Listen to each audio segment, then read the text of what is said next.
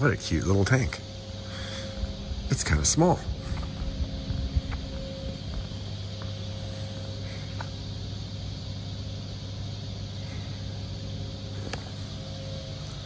It's kind of open too.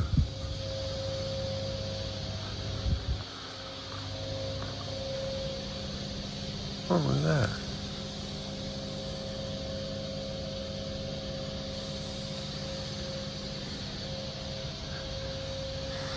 We are at the Flying Heritage and Combat Armor Museum where they restore tanks and airplanes.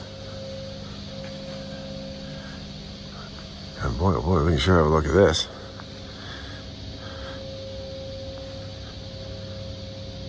Unique shot with that jet in the background because that's one of only 11 of those that survived.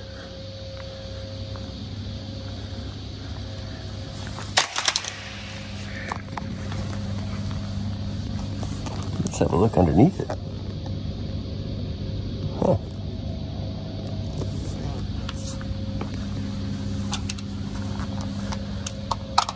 Let's see how they adjust the tracks down here.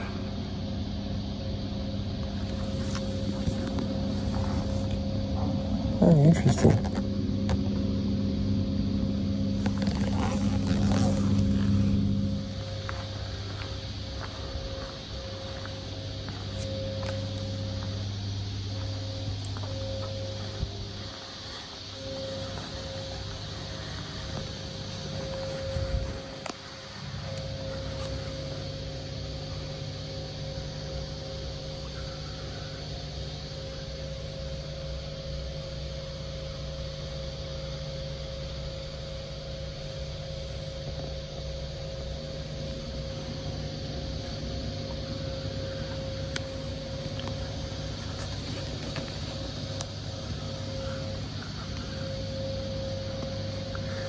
Underside of the hatch was a periscope look out.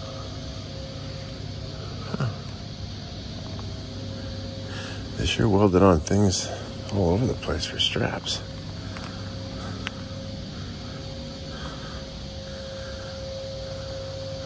Ooh, this window's got a little windshield wiper on it. Huh.